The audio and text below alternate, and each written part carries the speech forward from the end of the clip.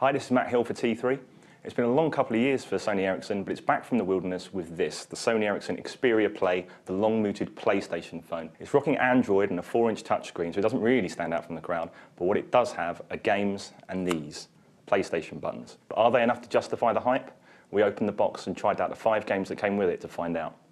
Let's start with the only PlayStation certified game straight out of the box, which is Crash Bandicoot, the fun platformer of 15 years ago. Unfortunately, it's fun, but the graphics don't fill the screen with ugly black boxes down the side. Also, it hasn't aged well.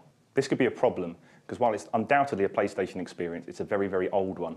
With the new NGP coming out later this year, which promising PS3 standard graphics, and the PSP currently doing a very good example of a PS2 graphics, the focus on PS1 games as the PlayStation Suite is doing seems very regressive when Apple and Android are bringing new games out to market of such quality. Next up is FIFA 10, not 11 unfortunately, but while it's faster than FIFA 11 on the iPhone as you'd expect, it's not quite rocking the 60 frames per second, much muted by Sony Ericsson's onboard processors. Also, the graphics are poor, and the controls so unresponsive we found it easier to use the touchscreen virtual stick. Unfortunately, the screen slides around quite a lot on the sliders and therefore is far from ideal. Also, the battery life for gaming of five and a half hours seems slightly optimistic.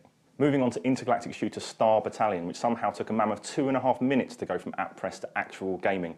We spent ages pressing all of the buttons to jump past the stuttering loading screens. After much thumb bashing, we found a simple touch of the touchscreen would at least skip the relentless intros. Unfortunately, this wasn't flagged up to anyone anywhere. On to Bruce Lee Dragon Warrior. Now think of this as the Xperia Play's answer to Tekken. The graphics are certainly a step on from the likes of Crash Bandicoot, but the controls unfortunately are clumsy because this is an Android game and was not made for the PlayStation buttons. And finally, we have the much ported classic Sims 3, the cute and lovable cut-down version of the desktop classic on your mobile. A lot of the commands are very simple, but again, it doesn't really make the most of the PlayStation buttons. One for the kids and the grannies, but definitely not on our must-own list.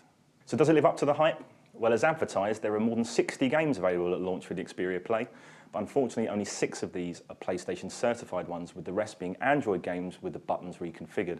This lack of conformity means that the standard and speed of experience varies wildly, and that means that the name PlayStation Phone currently seems something of a misnomer.